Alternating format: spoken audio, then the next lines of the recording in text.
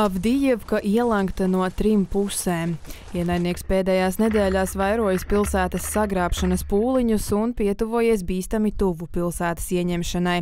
Analītiķi un arī karavīri frontē atzīst, ka tā var krist kuru katru brīdi, bet Kijeva pagaidām turas pretī. Taču viegli nav.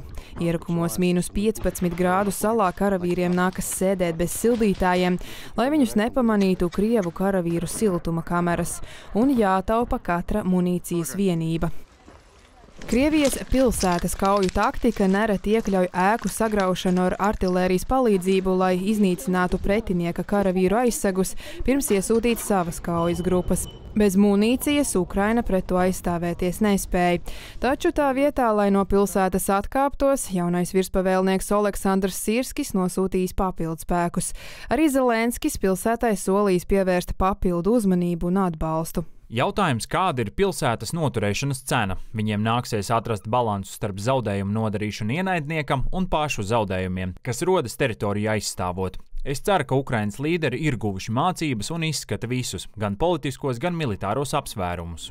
Avdijevka kļuvusi par pirmo testu Sirskim, kurš iemantojas nežēlīgā komandiera reputāciju. Viņš taktiskiem ieguvumiem nereti gatavs ziedot karavīru dzīvības. Tāpēc to, vai viņa lēmums pilsētu nepamest attaisnosies, izšķirs laiks. Šīs kaujas parādīs, vai Sirskis spēj savienot politiķu vēlamos iznākumus ar Ukrainas izsīkstošajiem militāriem resursiem.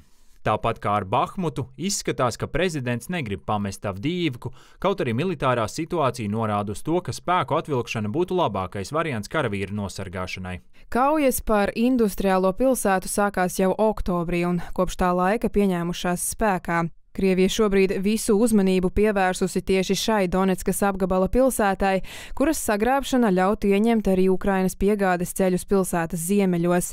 Pilsētas zaudēšana Ukraiņiem apgrūtinātu arī Donbasa lielākās pilsētas Donetskas atkarošanu. Uzbrukumu pastiprināšanās jau tiek saistīta ar Krievijas prezidenta vēlēšanu tuvošanos, pirms kurām Putins centīsies prezentēt uzvaras kaujas laukā. Paula Markusa, Latvijas televīzija.